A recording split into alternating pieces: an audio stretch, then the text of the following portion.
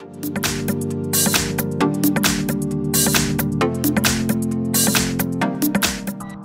Hi everyone, in front of me I've got Samsung Galaxy A33 and let me share with you how to add or remove a Google account in this device, so basically how to manage it. So first of all we have to enter the settings and now let's scroll in order to find accounts and backup. As you can see under it we've got whole Google services section and of course you can add or remove a Google account using it, but I personally prefer to do it using this section, so let me tap on it and here we have to tap on manage accounts. Now let's tap on add account choose obviously Google and make sure that you've got the internet connection because it is required for this operation. And from this step, we can either create a new account if you do not have your own yet, or simply type your email or phone. So let me do it.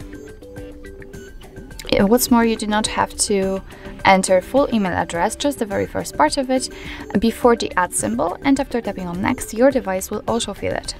So right now I have to enter the password and let me do this out of the screen.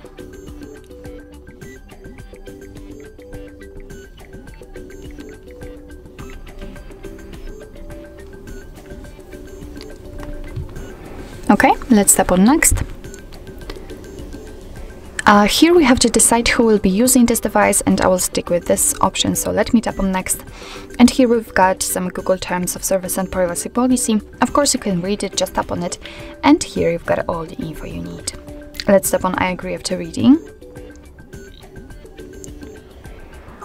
Here we've got the shortcut of backup and search info so just tap on accept and as you can see, we just successfully added our Google account to this device.